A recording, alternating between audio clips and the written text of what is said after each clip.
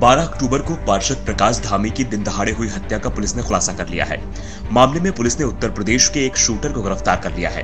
Police के मुताबिक पार्षद प्रकाश धामी की हत्या की साजिश भदईपुरा में रहने वाले पूर्व सभासद राजेश गंगवार व उसके भाई अन्नू गंगवार की ओर से रची गई थी।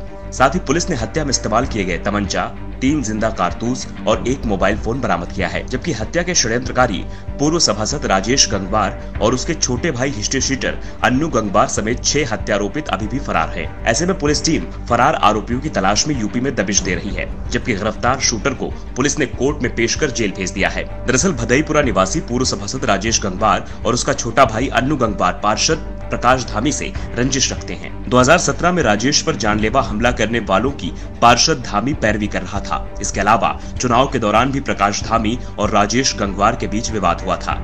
वहीं एसएसपी ने बताया कि फरार पूर्व सभासद राजेश गंगवार, उसके भाई अन्नू गंगवार और साथी दिनेश शर्मा के अलावा हत्या की वारदात को अंजाम देने वाले फरार तीन शूटरों की भी तलाश की जा रही है। जल्द ही उन्हें भी गिरफ़्तार कर लिया जाएगा। इस उस हत्याकांड में आज हमने एक मुलजिम है राजकुमार उर्फ़ बिट्टू उर्फ़ अभिषेक ये अलीगढ़ का रहने वाला है, ग्राम बशेरा, थाना पिशावा का क्षेत्र रहने वाला है।